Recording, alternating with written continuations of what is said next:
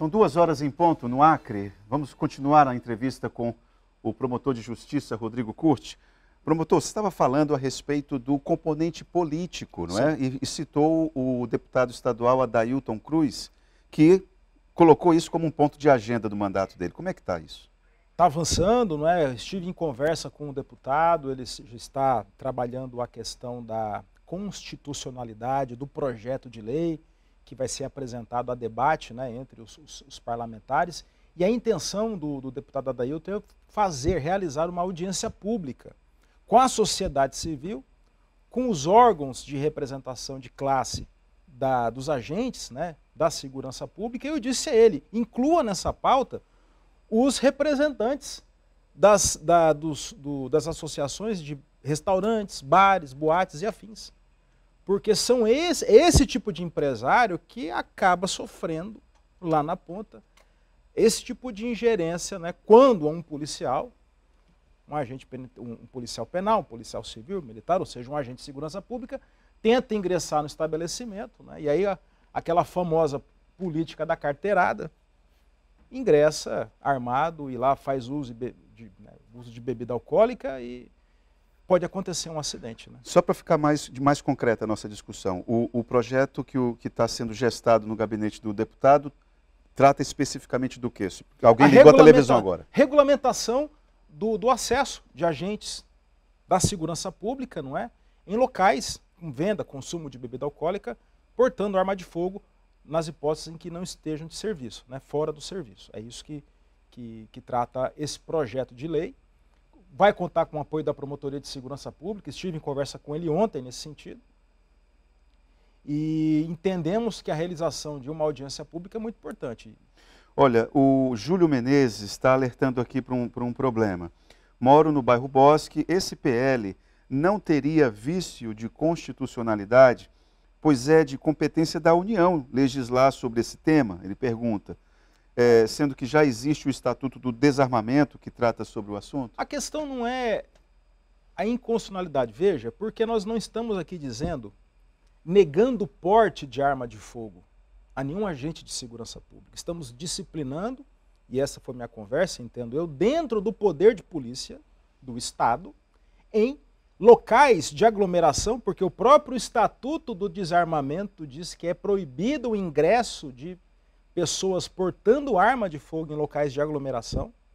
E diz também que cabe às corporações regulamentar o porte de arma dos policiais fora do serviço. A, a lei está dita. Então, no caso, seria o quê? A, a, Polícia Militar, o Sindicato dos Policiais Civis, Sindicatos Policiais Penais? É isso? Eles Just, que têm que pensar. Justamente, porque aqui nós não estamos querendo negar o porte de arma de forma alguma. É querer regulamentar num estabelecimento onde haja segurança aglomeração de pessoas. Inclusive, esses estabelecimentos são fiscalizados pelo FUNEP, pelo Fundo Estadual de Segurança Pública. O antigo FUREPOL, que fiscalizava o horário de funcionamento, abertura, enfim. Quantos seguranças tinha que ter em cada local, dependendo do número de pessoas. Também disciplina ali na, naquele, naquela, naquele decreto, aonde você tem ou não o um número determinado de pessoas com número de segurança, inclusive impedindo que pessoas armadas com porte legal adentrem, porque o estatuto diz que eu não posso entrar armado em locais com aglomeração de pessoas. E aqui nós estamos falando locais com aglomeração de pessoas, com segurança privada, e a pessoa portando arma de fogo e fazendo uso de bebida alcoólica ou outra substância que nós não sabemos qual é.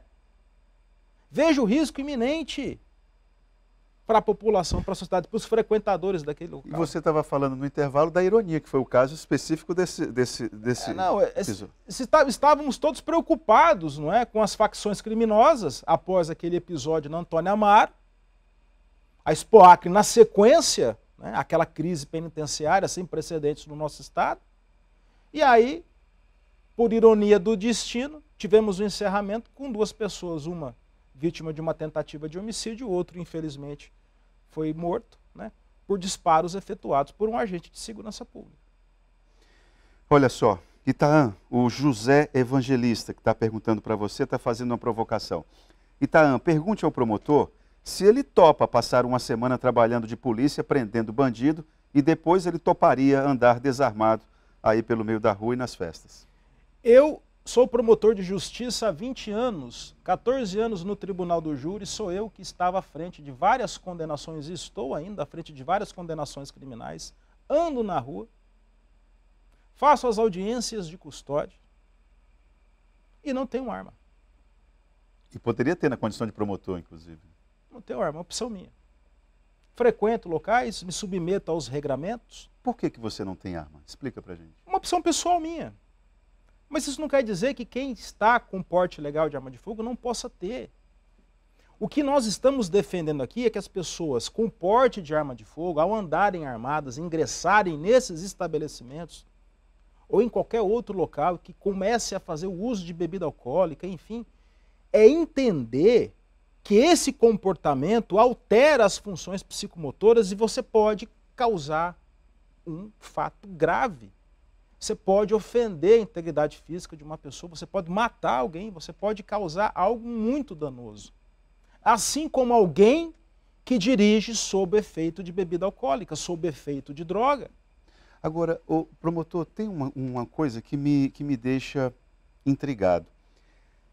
Boa parte das pessoas que eu não sei ainda quais são os recortes que a professora Josineide, Josineide isso. que a professora Josineide fez nesse estudo que vocês vão, vão, vão colocar de forma mais completa mais tarde. É, mas eu desconfio, olha só o paradoxo: 96% das pessoas de, daqui de Rio Branco disseram ser contra o agente de segurança estar armado em um ambiente em que se consome bebida alcoólica. Ok. Agora, o que eu, o que eu acho intrigante é que há um paradoxo, porque boa parte dessas pessoas, eu desconfio que sejam a favor do, daquela pregação do armamento da população. Não é um paradoxo? É, infelizmente, hoje nós estamos passando por esse, por esse dilema na sociedade. Né?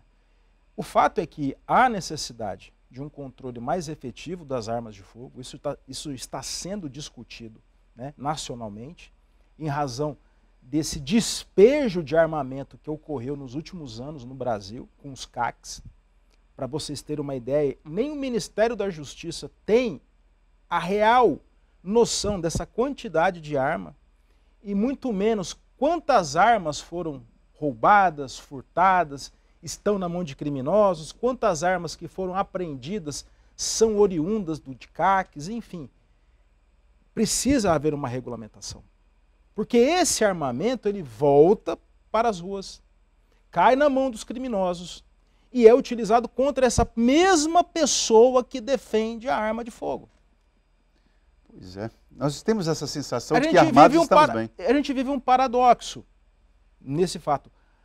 O que eu quero deixar aqui claro, e volto a dizer mais uma vez, o Ministério Público não é contra a Promotoria de Justiça e Segurança Pública especificamente, não é contra o porte de arma pelos agentes de segurança pública. Essa nossa preocupação aqui não vai atingir o bom profissional, o profissional de excelência. Nós não estamos aqui agindo com ironia. Né? Ah, mas se você prende, eu estou lá na linha de frente. Se você for frequentar um local público, você escolheu frequentar esse local público e é um show e uma boate. Ora, passou pela revista, por que, que você entrou? Como foi a forma que lhe franquearam essa entrada?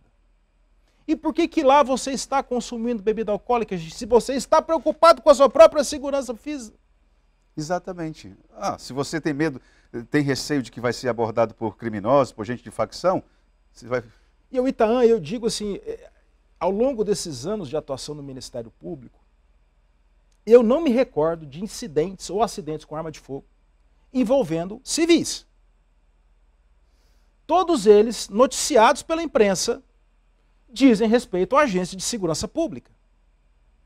Outro dia foi um policial federal numa boate.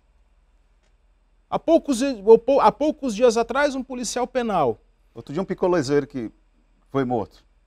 Então, porque o, cidadão, o civil ele não pode ingressar nesses ambientes armados, ele é parado, ele é, ele, ele é obstado. É revistado, ou ele deixa a arma no local, ou ele não entra.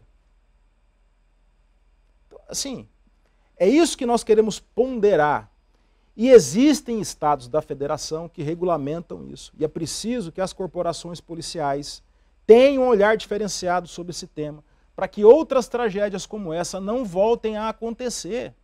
São tragédias anunciadas e tragédias totalmente evitáveis. Nós não estamos aqui querendo tirar o armamento da polícia. Agora, só lembrando, promotor, que é, esse trabalho de vocês, essa energia que vocês estão se dedicando a esse tema, não está pautada pelo, pelo que aconteceu na, na.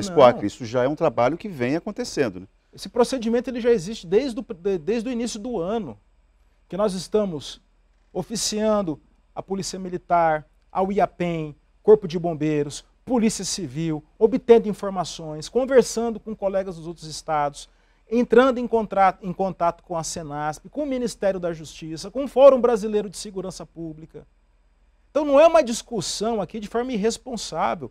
Esse tema precisa ser debatido perante a sociedade. Os representantes de bares e boates precisam ser ouvidos, como eu os ouvi no meu gabinete, e os relatos são muito preocupantes, para que eles também tenham voz muito, me, eu vou precisar encerrar, mas foram preocupantes dos proprietários de bares e restaurantes porque eles relatam muitos casos de carteirada? Então, essas são situações intimidatórias, vexatórias e, e, é muito complicado. Muitos deles nem quiseram entrar especificamente, né, nas questões, no mérito assim, individualizar as, as condutas, mas é muito claro que esse comportamento existe. E é uma situação muito complicada. Nós não podemos mais conviver com isso na nossa sociedade. Estamos em 2023, caminhando para 2024. Até quando nós vamos aceitar isso?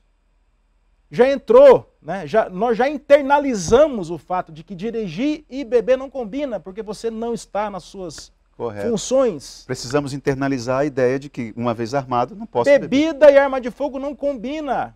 Nunca combinou e nunca vai combinar. Nunca combinou. Exatamente. Até, até mesmo se eu fosse um cangaceiro, se eu fosse um cangaceiro, eu não ia querer beber porque eu ia poder errar o alvo. É acabar acertando outra pessoa. Exatamente. Promotor, muito obrigado pela sua vinda aqui. Tá, joia. Foi curto esse programa, por tanto de, de tema que poderíamos conversar aqui. Vamos para o intervalo. Você vai ficar surpreso com o próximo entrevistado.